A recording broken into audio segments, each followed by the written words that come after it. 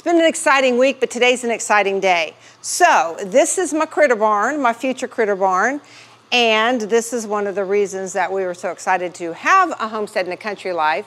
Last week, Brad dug a trench and ran a water line for my critters and for other purposes as well, right? We can bring tractors on this ramp, we can bring vehicles on this ramp, we can bring critters on this ramp and wash them if we so need to. But having this water source here will allow me to feed and water my critters easier. So today, what we need to do and prep for my critters and then prep for the concrete pour is to get rid of this extra dirt. Apparently it needs to come down four inches, I'm being told. So Brad and his handy dandy Precious and the Summit tractor and then the Summit trailer, which is now hooked to this Hisun sector, will all work together to get rid of some of this dirt. So stay tuned. So as I mentioned last weekend, he dug this up and then he was able to spread some of the dirt with the excavator, but there's too much dirt. So once again, Summit to the rescue, scoop it, we'll put it in the Summit dump trailer, and then I'm not sure if it's going to go in our reserve pile or if it's going to be used right away. I'm not sure. I never know. He's got plans and he knows what he's doing. But I don't always know what the plan is. Scoop number two. How many scoops do you think it's going to take for that little pile? I should ask that before scoop number two. Yep, dry and dusty. look, look at Dust Storm. Piney Grove Dust Bowl. I might need a mask for the dirt, the dust pile. Oh, oh, oh yes.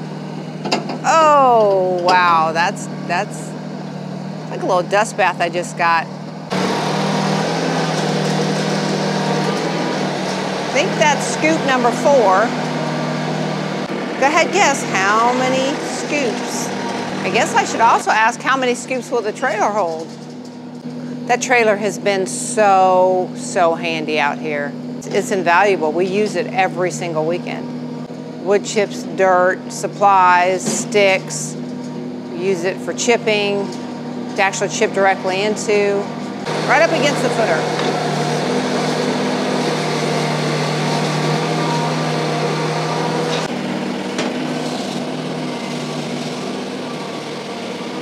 All right, guys, Deb has been behind the camera and I've been on the tractor, but what we're trying to do here is, you know, scrape up some of this dirt. I got most of that pile that I pushed with the excavator last week. I got most of it um, kind of balled up there, and then we got the trailer full. And now we got Deb's gonna drive the Hisun over so we can dump the dump trailer. She loves driving the Hisun, but she doesn't love backing it up.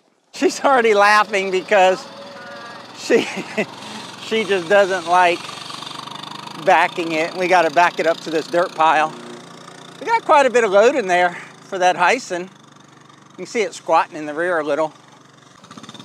I don't think she pulled forward enough. Your favorite part. And she's got it. She's got it pretty, you got it pretty straight. You can see how low the hitch is right there. That's good. That's where I wanted it. It's going up manually, but this is much easier when it's hooked to the summit and uh, using the hydraulics to actually lift the cylinder. But we'll get it manually. We just don't want to switch back and forth between using the bucket on the summit and then hooking it up to the trailer. She said she put it exactly where she wanted to put it. So give her some words of encouragement because she really didn't want to back this up.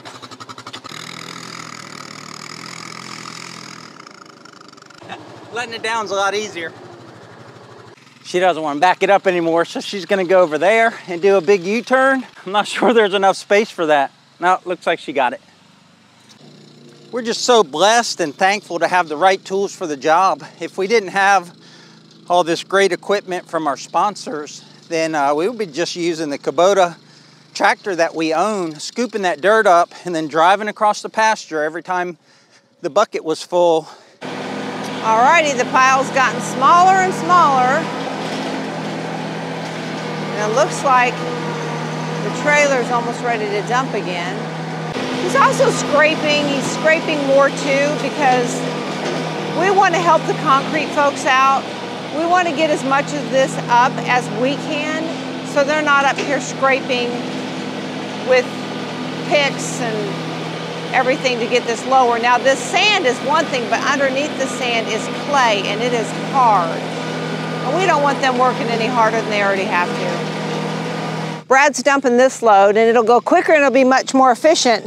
But I have to tell you, I got that thing exactly where I wanted to it wasn't smooth or graceful, but I got it where I wanted to. And I'm pretty proud of myself because I am not good at backing up, even though I try. And I've not been good at backing up the trailer on the Hisun.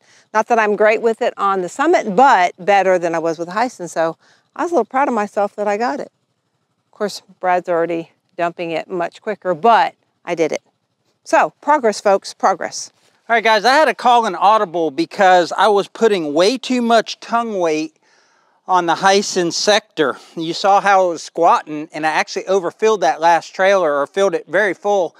And when I took off, it actually pulled uh, a little bit of a wheelie. And then to make matters worse, when I went to dump the dump trailer, I was uh, turning this little knob here and I turned it too far. And when you turn it too far, it comes out. Well, what happens when it comes out? Hydraulic fluid just sprayed all over the back of the Hisun. So I degreased the back of the Hisun, got that all clean, filled this back up with hydraulic fluid. Here's the level right here and uh, hooked it up to the tractor just so we don't, um, we don't overtax our equipment because we don't want to break stuff. We enjoy using our equipment, but we don't want to break it. So back to the pole barn, I'm gonna scrape up a little bit more. And the reason I'm doing this, if I didn't explain, is because that's packed concrete. You see a lot of powdery clay where it's been dry for a couple years in there. But underneath that powdery layer is just hard packed clay. And uh, the concrete guys will have to come in here with picks and shovels. And what I'm trying to do is make it easier for them. So I'm going to scrape it a little bit more with the excavator. I scratch up the surface in case I don't get the level right. And uh, also dig in the drain line or at least dig the trench for the drain line that'll go in the center, the drain that'll go in the center of the concrete pad.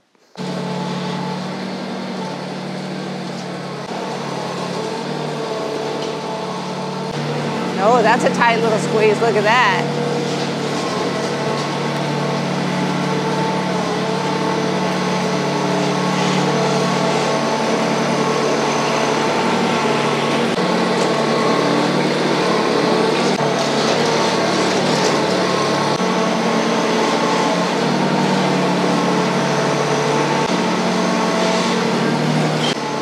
I mean, this is going really fast. This is scraping part.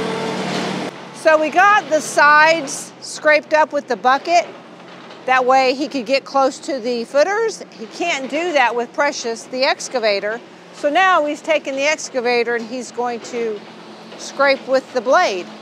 So he gets to use all his tools. Look, he's used a Summit, he's used a Kubota, and he's used Precious. Oh, and the Hyson. Been a good day. I think that was two passes, just two passes. I'm telling you, this, this mini excavator has been a blessing too. We found it, we found it on Facebook Marketplace during the pandemic and we got a great deal on it used and the folks down there drove it up to us and we never ever realized how much we would use it until we got it. Brad works hard, and when there's a piece of equipment he wants, I mean, I don't, I support him. I don't fuss about it at all. But when he said excavator, I was thinking, really? But okay, that's that's fine. I knew that at that time we had some water lines and things we wanted to run, but it has just proven invaluable. And he's always said, well, you know, one day when we sell it, and I just honestly, folks, I don't see him selling it. It's just so handy. Brad said, why don't you get some from the loft? The loft is super cool, but I try not to spend too much time up here. There are no railings, and I'm clumsy. But you get a better layout of the barn this way. There's my feed room right there. And I'm standing on the shop. The rest of that area is where the stalls will be. I think the piles look smaller from up here. It's actually got a pretty good sized pile going. He's watching the back of that. Last thing he wants to do is hit the wall. When the excavator spins or rotates, it goes beyond the tracks. So he has to be careful. Not just watching the tracks, but watching the house.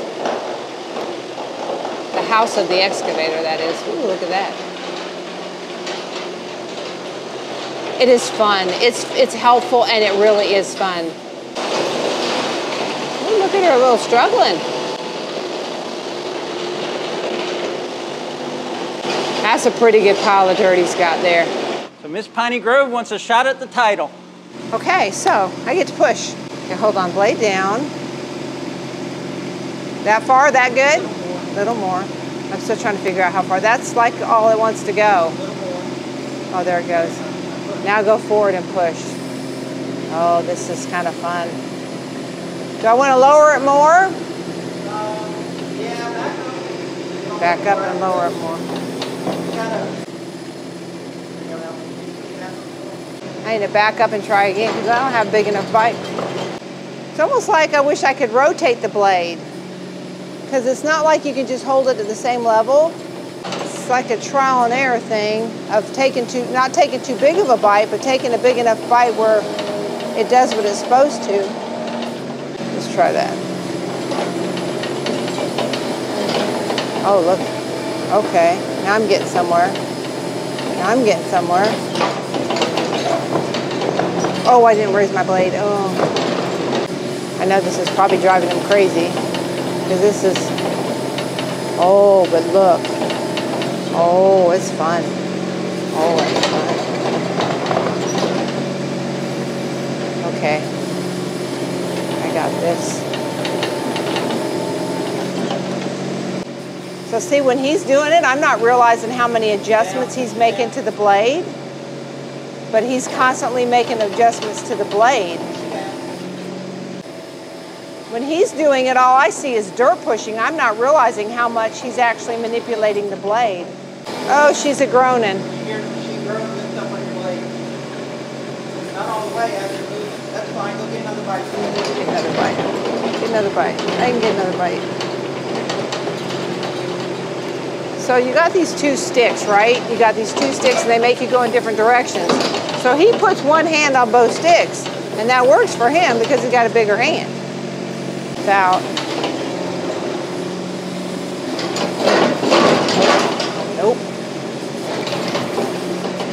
Y'all can really see the difference now, right? In having Brad run it and me. Awkward versus not awkward. Bite. Oh, yeah, I think that was better.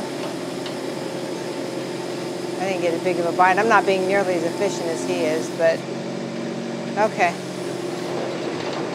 I would like to just play with that when we're not on a time. Oh, when we're not on a timeline. Wait, now I got to fix my boo boo because I I back drug and I didn't mean to. Now I got to straighten myself back up.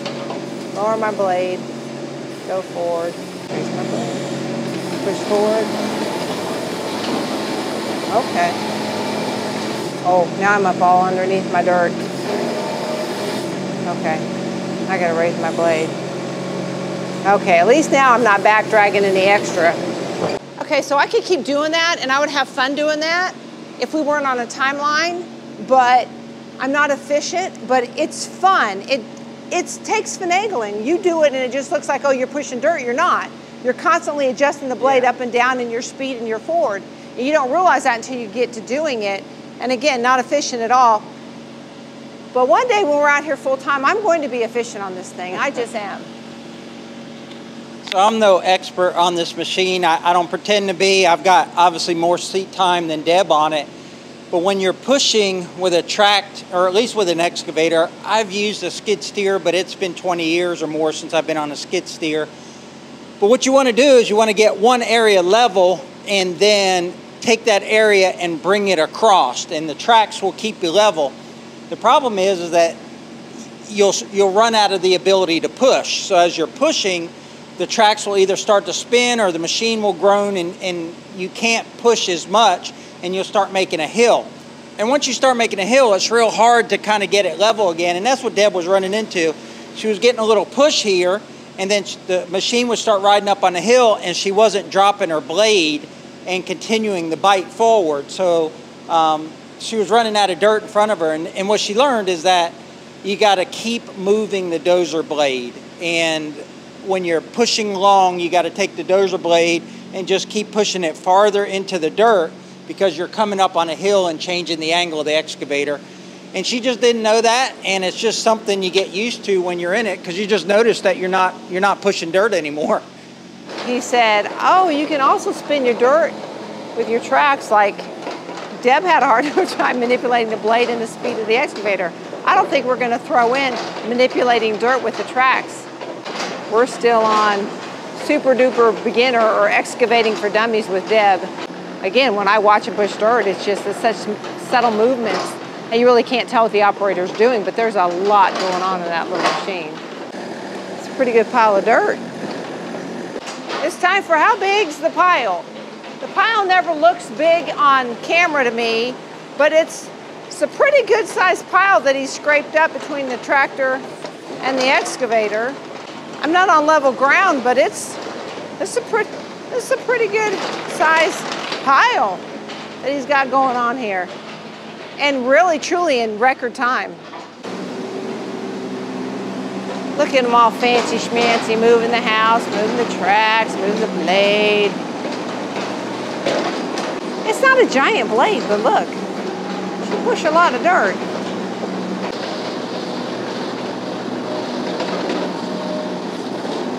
So that's the center drain. That way we can wash out stalls and have all the water go to the central location and then it will pipe out to the side. We started this barn years ago. We just had a pole barn. Then we had concrete poured, um, the footings poured. One thing we also did is we put the roll-up door in there. Then we had the shop for my dad, who then passed away this past uh, January.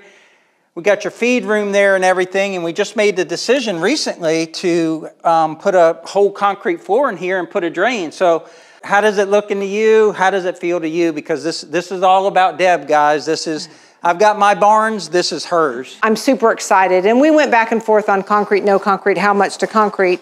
We'll make sure the critters are comfortable and they're taken care of. But the fact that we're so close to ticking off this big item, and it's a big item, getting this floor in is a big item for us. I'm super excited because the next thing is stalls. And then it will really be real. Yeah, we got the lighting, we got the water in, um, so concrete floor and stalls, and this, this barn's pretty much done. But this video is pretty much done too, so the next time you see this barn will be when the guys come in here and get all the forms and the cross pieces, basically get it prepped and ready. Lay the plastic down in the wire, and then we'll do a video on the concrete, and uh, soon, within the next few months, we will have a nice concrete floor in the Piney Grove barn. Yay. All right, babe, you want to go ahead and close out the video? I guess we're done. That'll do it for this video. We hope you have a great, blessed day. Y'all take care out there. We'll catch you on the next one, guys. Take care.